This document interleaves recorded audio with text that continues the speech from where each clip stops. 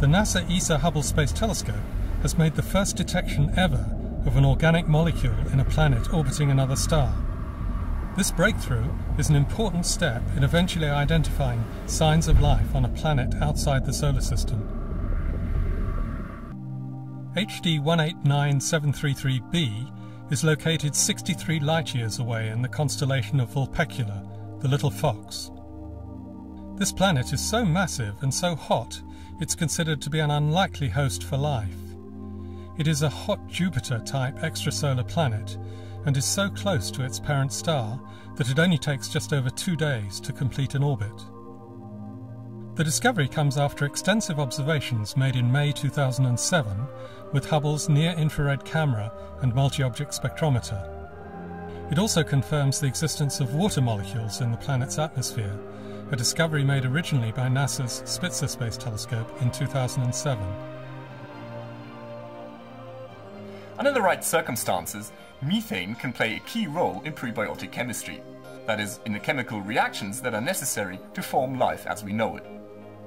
On Earth, methane, which consists of hydrogen and carbon, can be produced by lots of different things from man-made sources such as waste landfills or as a byproduct of energy generation, to natural sources such as termites, the oceans, wetland environments, as well as livestock.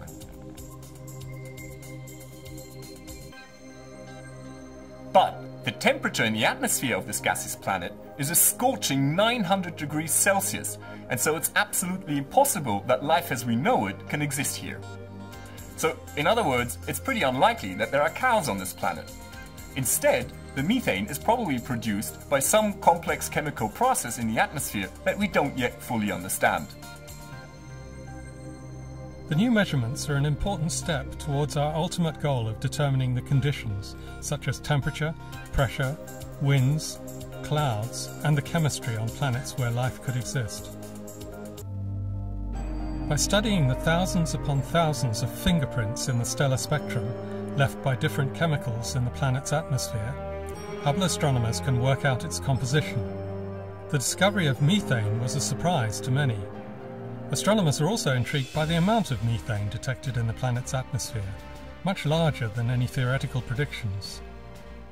The ultimate goal of studies like these is to identify prebiotic molecules in the atmospheres of planets in habitable zone around other stars. That is, in the zone where the temperature is just right so that water can be liquid and doesn't freeze or evaporate away.